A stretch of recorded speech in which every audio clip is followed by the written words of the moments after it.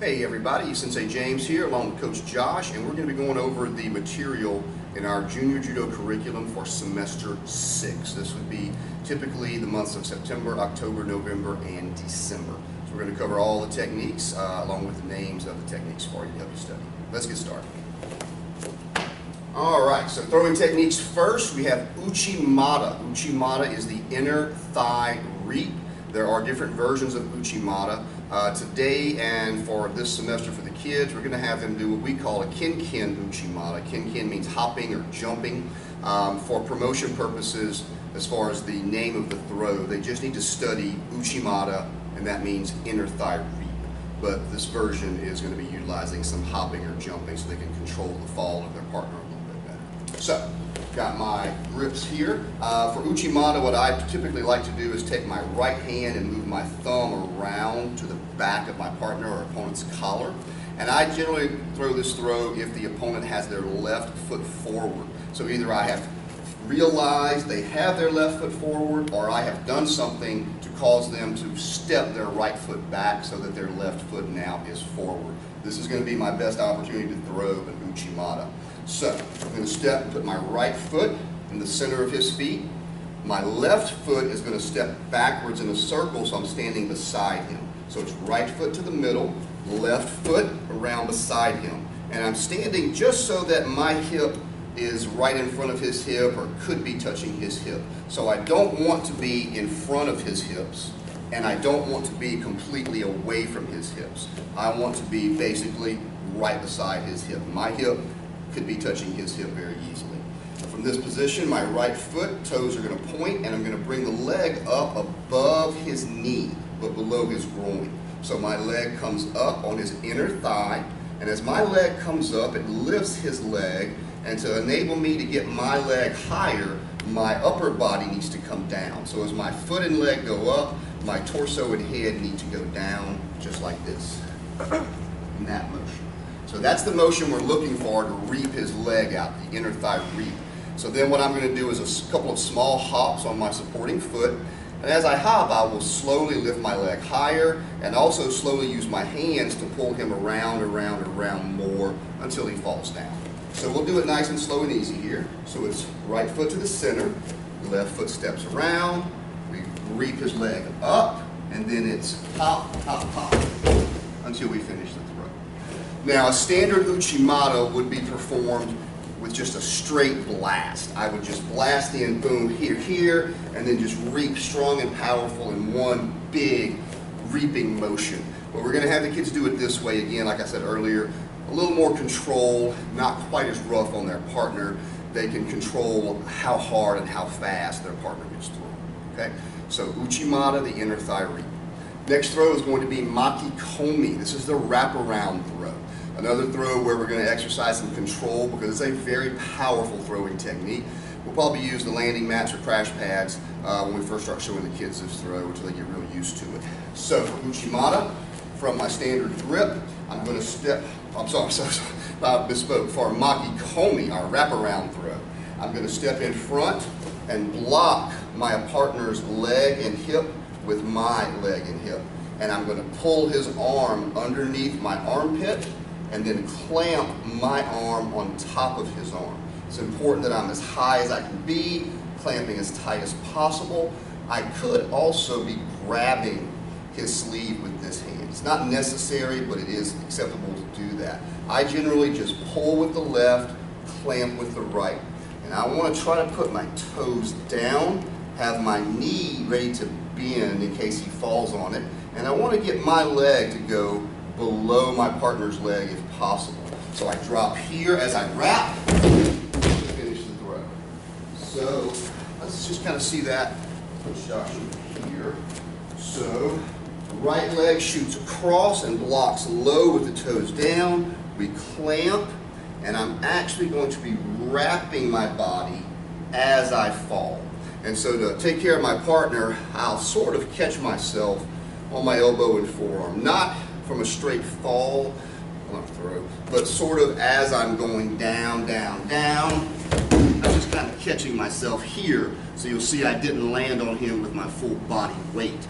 That's just being done to protect our partner. If we were doing the throw for real, again, 100%, we would just wrap and fall as fast as we could and let our body fall on top of them.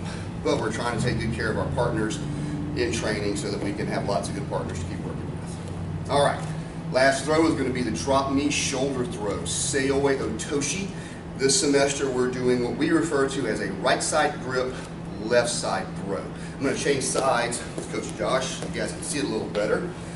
So normally for regular Seoi Otoshi, we would take our standard grip and my right arm would release his lapel. It would go underneath his left arm really high and I would turn right in front of him facing the same direction, drop to my knees and pull and turn. That would be regular Seoi Otoshi. This semester we're doing right side grip, left side throw. Let's actually step one step this way. So for this throw, I'm going to let my right hand retain its grip. It's not going to release. Instead, my left hand is going to let go. It's going to travel underneath all three of these arms. So going under his arm, going under his other arm, and my arm. I'll keep my grip. And I'm not going to try and turn all the way around and face that way. Instead, I'm going to cut right across in front of him at an angle. And I'm going to try to land somewhere in this area. And I'm going to be throwing him in that direction. So throwing him to this back, or in my case, my forward right corner, his rear left corner. So my motion would be something like this. Step, drive the arm underneath, and then follow it immediately with my left leg. And then I'm going to drop to both knees. So through, drop, pull, turn, like that. So our finishing motion is the same, except it's the opposite shoulder. When we did standard drop knee shoulder throw, we were here, they were on this shoulder, we pull down, and we always look away from them, here. With this version, he's going to be coming across my left shoulder. So I would need to pull down and look to my right. It's going to be the opposite of what we normally do. Let's see it just a tiny bit quicker. Not full speed, but a little faster than the first version. All right, so Seoi Otoshi, the drop knee shoulder throw. That was right side grip, left side throw. All right, uh, let's pause it right there for just a second. I get drink water. All right, so let's go ahead and right into the uh, pinning techniques for this semester. We only have two. First one is Kazure Kesa Gatame. Uh, Kesa Gatame, of course, just means scarf hold. Kazure just means modified. So this is the modified scarf hold. There's really not much difference. It's a super, super easy variation. I'll have Coach Josh just lay on his back, his head facing the camera there. So when we do our regular Kesa Gatame, I would sit right here, and I would put my right arm underneath my opponent's head and neck, and I use my left and I scoop his arm up and I trap it beneath my armpit and I'm also cupping his tricep or grabbing his gi and holding him tight. This would be regular Kesa Gatame. For Kazure Kesa Gatame, this left arm stays the same. The only real change is my right arm doesn't go under his head. Instead, I put it underneath his armpit on the other side. And I'm going to either cup the top of his shoulder, or I could reach over and grab at his neck or grab his lapel by his neck. So I go underneath, and I like to just cup the top of the shoulder, but it is also perfectly acceptable to take my fingers and grab the lapel or uh, top of his jacket, there's collar, and then we just sink in nice and tight, okay? Our escapes here are going to be pretty much the same as they were for regular Kesa Gatame. We have bridge and roll, uphill turn, leg entanglement, uh, things like that. So pretty much all of our standard escapes are the same as they were for regular Kesa Gatame. Uh, we'll show bridge and roll and uphill turn real quickly. So for bridge and roll, he turns and gets as close to me as he can, gets his whole body as close to me as possible, grabs me around my torso with both of his arms, he puts both of his feet on the mat and he uses his legs to bridge me up onto his chest and shoulders so he can roll me over, just like that. And locks me into his own Kazure Kesa Gatame. All right, for the uphill turn, he's just gonna push my head down toward the mat as he turns and turns and turns until he can get his knees underneath him and then pull out his head and his neck. So he pushes my head down as he turns, gets his knees underneath, and then pulls himself free so he can start to take my back.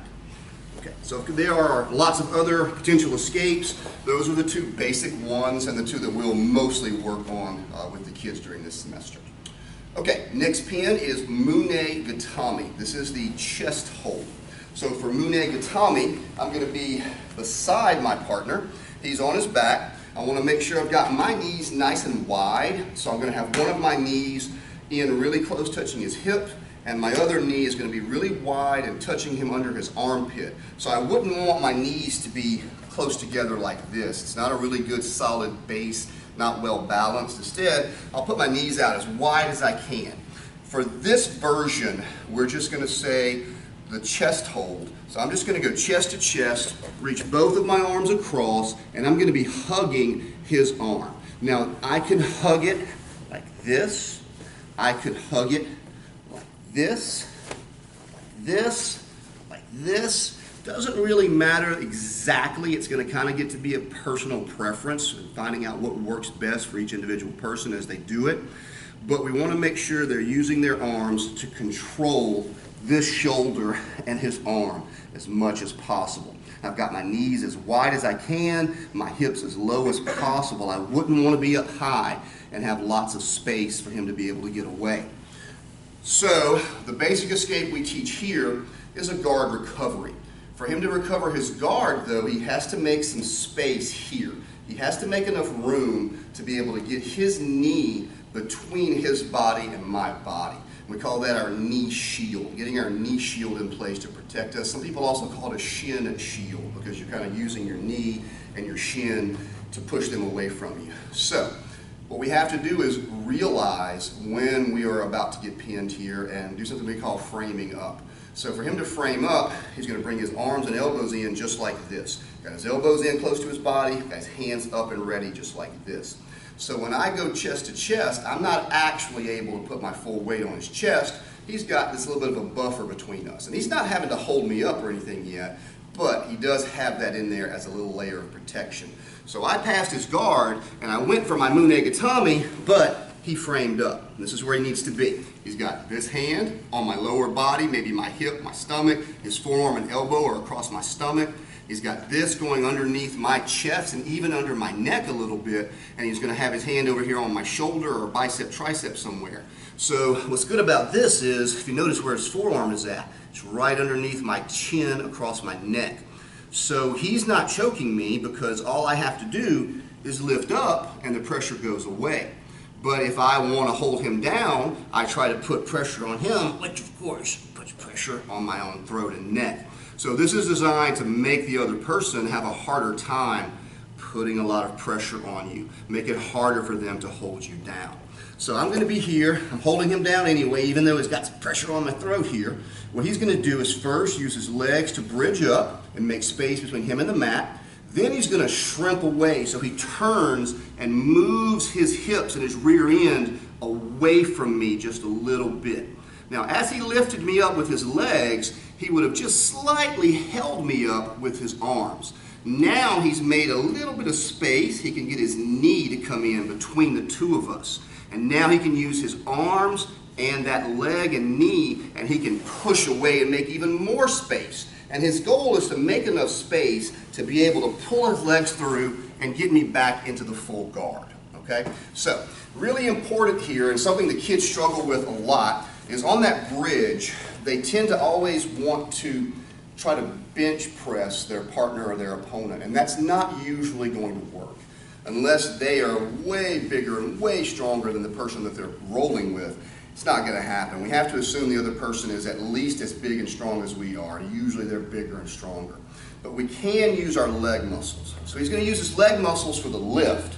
Then his arms just have to sort of hold me in place for a, a couple of seconds, not very long. So it's not lift and hold, it's lift with the legs and just slow them down with the arms. So you'll see that here. He's going to lift me with his legs. He just holds me up once I'm lifted with his arms so he can shrimp. He gets on his side, shrimps away, and sets his knee shield, and then he's able to start making more space until he can eventually pull me back into his guard. So, That is what we want the kids working on primarily. It's going to be a guard recovery versus the chest hold. All right, all we have left are some miscellaneous mat work techniques. First one is going to be the double ankle sweep. So in this case, I'm on my back, my opponent was maybe in my guard, and maybe he stood up, or maybe I fell down and he has walked up close to me to try and pass my guard to pin me. And for this one, what we're, what we're looking for is our opponent to make a mistake. When you're in this position standing up, you should always have one of your legs further back than the other, what we call a combat stance or combat base. You should only put your legs up close if it's in the midst of you doing something. And it should be very brief. I step forward to make a pass or something like that. We would never want to step forward and pause or stand like this for any reason. But sometimes people make that mistake. They get so caught up in what they're doing and they get so fixated on trying to pass guard that they just, bam, pop up and both of their legs are right there. So we have to take advantage of these mistakes our opponents make. Double ankle sweep is one of those chances. So what I'm going to do is take my hands and just reach down and grab the back of his heels, behind his ankles. And I'm not grabbing his uniform if I can help it. I'm making hooks with my four fingers, and I want to just hook and hook. Now I let my feet come up and put my heels right here on his hips. I just hold on to his ankles and his heels, and I don't have to kick him, I don't have to push really hard. And in fact, we want to be careful because if we really rear back and explode like a kick, then we're going to get disqualified for that. We're not allowed to do that. But what I can do is just hold his heels and ankles and just give a light little push and he'll fall over. So I hold him here and then I just give a light little push and he goes right down. And it's surprisingly effective because once our heels touch the ground, we lose our balance. It goes toward the back. Now, when we do this for real in a match or for rolling with our partner, we don't want to just lay here. Okay, it's not going to count as a sweep if we just lay here. And they're just going to get back up and start attacking us again. And now they know not to make the same mistake. We've given away our surprise. So we have to make ourselves go ahead and power up. We have to sit up and then start passing their guard. And it doesn't matter exactly how we do that as long as we do it. So I'm going to grab and grab here to here, give a little push, and now you get up. I need to be moving my body up. Ideally, we wouldn't get up and go right into their guard. So what we don't want the kids to do, we don't want them to sit up and just go right here. Because now I'm in his guard. Now I have to try to fight past it. So we want them to try to get up and try to move around that guard on either side if they can. If they're going to go through the middle, it needs to be as part of a pass, not just going into the guard. So one more time, one example could be that I do the sweep, and it's called coming up, and I move around to the side like that. That's not the way it has to be, but it is a way that it could be. Mainly, we want the kids to understand we can't just do the sweep and then just stay on the ground. Next technique is going to be a leg hug pass versus the half guard. Put your head kind of at an angle right about there. So half guard meaning he has two of his legs trapping one of my legs, just like that. So what I'm going to do for this is I'm going to hug both of his legs. I put my arms around both of his legs in a big giant bear hug, squeeze as hard as I can. I put my head here in his hip and his stomach, and my legs both kick or sprawl straight back. Hopefully that breaks loose his half guard. So look, I hug both of his legs here, head in his belly and his hip, sprawl back. Now I'm going to hold on to those legs. I'm going to keep them squeezed together. I'm not going to let them go. And I'm going to start to tiptoe around. One hand comes out, grabs him, pulls my way on around like that. So what I like to do is once I've grabbed both of his legs and freed my one leg, this right hand, I will grab this pant leg and use it to hold both legs together while this one comes out. So I end up like this, holding and pulling both of his legs together to trap them. And that lets this upper arm come out, reach up and grab to pull myself on around. So I start out like this, but I finish like this, like that. For our single leg hug pass versus, sorry, leg hug pass versus the half guard. All right, last technique, back take and flip, starting with a stack. So, We're gonna have our opponent on his back. We're in their open guard, or maybe we were in their closed guard and we did something to open their guard. I'm gonna drop both hands through, and for this particular one, I'm gonna grab his belt low by his hips, and I'm gonna pull him up real tall and close to me. Now for our partner's safety, we're not gonna flip them straight over their head. So I'm not lifting up and taking him straight. I'm gonna take him at an angle, this way or that way, so he can turn his head and go over his shoulder. Doesn't matter which way you go. Just pick what works best and what feels most comfortable for you. So I've got his belt on both sides, pull him up close. I'm gonna pop my leg up on the side I wanna flip him to, and I roll him over. So from here, I can't just stay still because he'll come and attack me. Instead, I need to move into a position and do some type of turnover. And it really is up to the person as to what turnovers they know are like. It's okay for the kids if they just revert to their first turnover they ever learned, which is the cross face turnover. So I, here on his back, shoot one arm under his chin up front, grab the elbow, other arm under his body, grab the bottom of the elbow, pull both elbows out, push with my chest to roll him over, stop myself from going too far, and maybe I finish right here in my Mune Gatame chest hold. All right, so that was our stack and flip, and then back take to a pin. So those are your techniques for semester six in the junior judo curriculum. Hope you guys enjoy working on them. All right, guys, we'll see you on the mat.